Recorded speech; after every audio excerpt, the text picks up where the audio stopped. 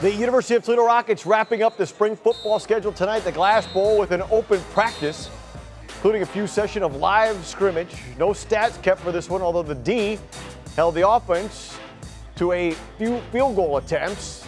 Defense always ahead of the offense at this point in the year, right? Quarterback competition, well, nothing really settled. You still got an idea of who can do what, but not that great of an idea. With more from the Glass Bowl, here's BCSN's Mark Kuntz. Player safety on the forefront of every football coach's mind. That's part of the reason why tonight at the Glass Bowl, UT had a open practice to wrap up the spring season as opposed to a traditional blue versus gold scrimmage.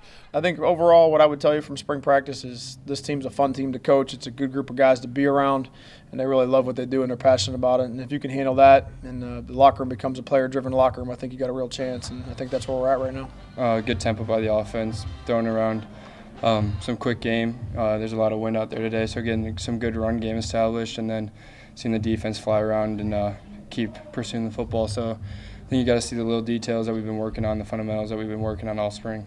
Quarterback competition heating up. Mitchell Guadagni, Eli Peters splitting time with the number ones. Adding a wrinkle into this competition, freshman Carter Bradley, who did see some playing time last year, had to sit out the final practices of the spring after injuring his shoulder. You hate to see him go down. I mean, it's a terrible injury, um, but we got to rally around him, keep him upbeat, and just keep competing. You know, before his injury, he had some really good work and had some really good days of practice.